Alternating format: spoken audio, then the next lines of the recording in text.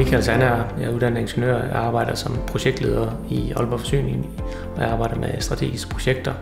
Og herunder har jeg arbejdet med fjernkøleetablering til NAV. Jeg hedder Kjell Almegård, og jeg kommer fra rådgiverfirmaet Almegård Rådgivende Ingeniør. I det her projekt der har jeg repræsenteret COVI, som også har været total rådgiver på projektet. Jamen, jeg har været øh, ansvarlig for køleprojektet, og det har været super spændende.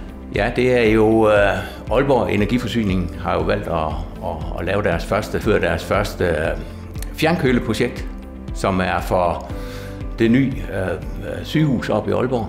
Og uh, det har en kølekapacitet på omkring uh, 7,3 megawatt. Projektet Fjernkøl til NAV handler om at levere 12 grader ind til hospitalet og 18 grader retur, og så køle det primært via en dyb sø derude ved Portland.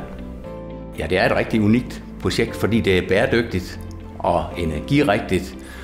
Og, øh, så der, og så ellers så kan man sige, så tager vi jo vand ned fra Kritsøen til at starte med, og det bruger vi jo på, til at køle med hele vinterhalvåret og forår og efterår.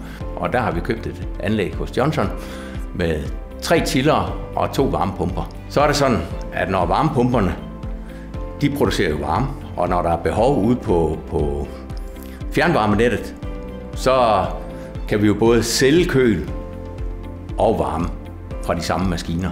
Og det er jo genialt. Projektet er jo forventeligt det mest energieffektive køleanlæg i verden.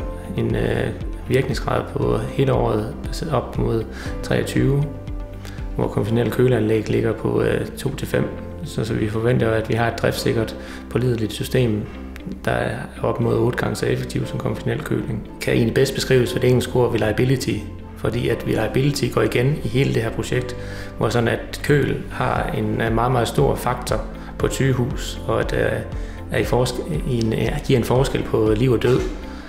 Hvorved at øh, de maskiner, som vi har købt af Johnson og fået opstillet, har vi specifikt valgt, at vi vil ikke have eksperimentelle øh, nye maskiner og teknologi. Vi vil have nogle driftsikre maskiner, som har vist øh, deres evne hen over lang, længere tid.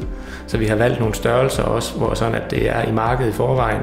Min oplevelse med team på stedet har været overvejende positiv. Både deres site manager, deres folk og deres øh, arbejdsmiljørepræsentant har ageret professionelt og har lagt for dagen, at, at det er også en sikker arbejdsplads som et, en væsentlig parameter i udførelsen, hvilket harmonerer rigtig godt med Aalborg forsyningsværdier.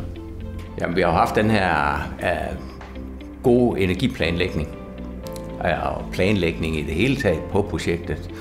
Og det har gjort, at, at vi har sparet en masse CO2 og en masse energi, øh, som, øh, som jo, selvom det koster lidt mere, jamen, så giver det en god driftsbesparelse.